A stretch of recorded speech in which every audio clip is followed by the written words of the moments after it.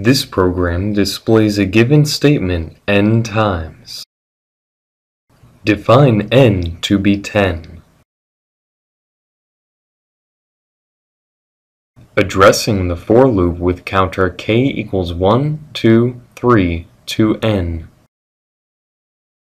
The first time through the loop, k equals 1 and it displays the statement the first time. The condition if k equals n is checked and found to be false. The loop does not end but returns to the beginning. The second time through the loop, k equals 2 and displays the statement a second time.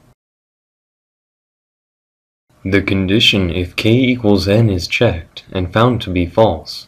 The loop does not end but returns to the beginning. This process is repeated for k equals 3, 4 to n. The nth time through the loop, k equals n and displays the statement the nth time.